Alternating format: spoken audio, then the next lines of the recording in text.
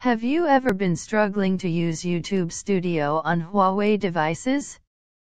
Because Huawei has a limited applications allowed since it does not support Google Play Store. But worry no more, there is a simple way you can use YouTube Studio on your Huawei device. Just follow my instructions and you can finally use not just YouTube Studio, but even other unsupported applications by Huawei. You can solve this problem by using a virtual machine operating system, or also known as VMOS.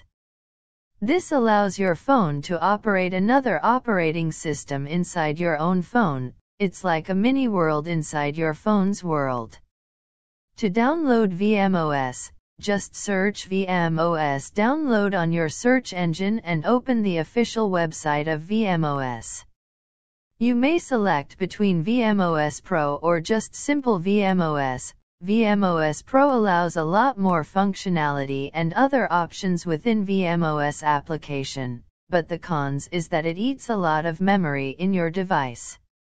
If you only want to run a simple application in your device like YouTube Studio, you may select the simple VMOS if you're not going to use it for any other purposes.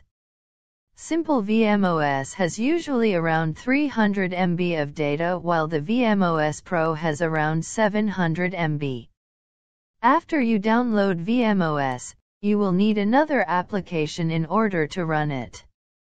It is called the VMOS Unlocker tool.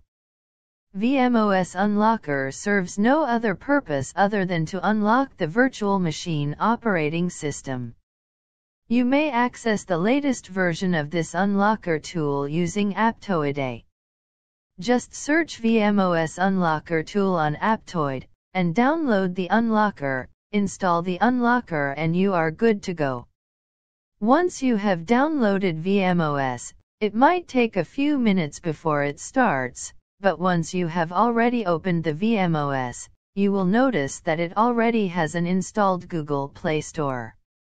You may use the Play Store to download YouTube Studio, or you may import it on your original operating system. Just install YouTube Studio inside VMOS, and you can use it like a normal application without any hindrance. If you find this guide helpful please don't forget to subscribe on my YouTube channel for more of my tutorial videos, and leave a like to tell the world how useful it is. Thanks for watching and I'll see you on the next video.